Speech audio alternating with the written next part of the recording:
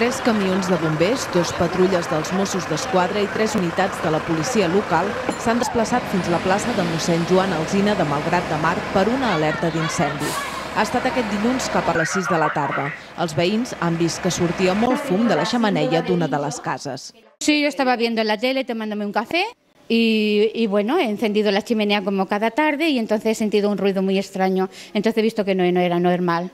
He cogido una garrafa de agua y he apagado la llama del fuego que había encendido. No, no, no ha pasado res, no, no, he surti, he salido aquí al balcón, he visto a la vecina y entonces le he dicho que sale la llama por arriba y me ha dicho no, no, de momento no, sor molt de. Y he vuelto a coger otra botella de agua y lo he vuelto a tirar y hasta que he apagado todo y ya está.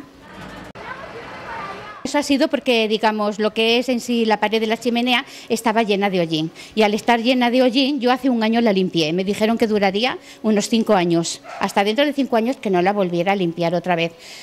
Ahora en noviembre hizo un año que la limpié y claro, yo la he encendido normal desde entonces. Y bueno, y ya está. Els bombers només han hagut de remullar la xamaneia per assegurar-se que el foc no revifés davant l'atenta mirada de les desenes de persones atretes pel gran desplegament.